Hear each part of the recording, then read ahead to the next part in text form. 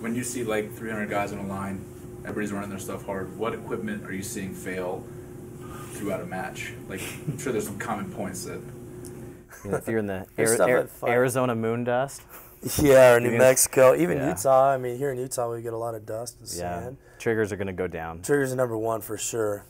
I don't know if I've ever been to a national match and not seen a trigger go down. There's almost there's almost always a trigger that, that goes down, and, and So are guys just bringing extra triggers just in anticipation of something going down? some guys. a lot yeah. of lot of guys are, um, you know, without naming brands. You know, there's guys that'll they'll just have they'll have three or four of them, and they know that you know they got to keep whether it's their compressed air, alcohol, uh, or um lighter fluid that they squeeze in there to try to clean it up.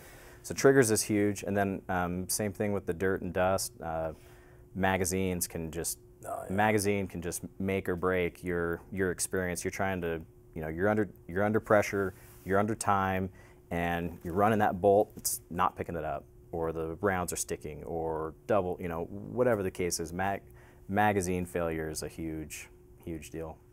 Yeah, with those triggers, I mean, uh, you, you can't get something as precise of an instrument as a trigger needs to be with, you know, down to eight, nine, ten ounces. Some guys are running super light where the tolerances are super tight. And you're out in the dirt, and dirt's going to get in there for the most part, depending on what type of triggers you run. And, and man, I've seen so many of those fail. And um, you say, oh, magazines, yeah, magazines, man. Um, depending on the type of magazine you run, if you're having a jam on that, and you know all of the stages that we shoot are timed, and you know a lot of guys will carry, most guys will carry a spare mag on them. So if they have some sort of jam, they'll you know just drop them, they'll drop the mag and just put a new mag in, um, and then deal with it later. But uh, yeah, mags. What else goes down? I've seen, uh, man, just about. I mean, brass. Like some guys, they're sizing their brass too much, can have case head separations on the line. Or-.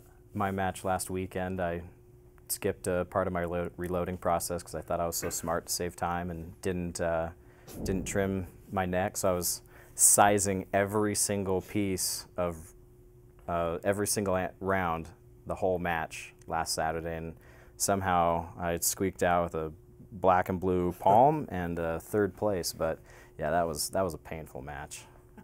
That's only only me to blame on that one.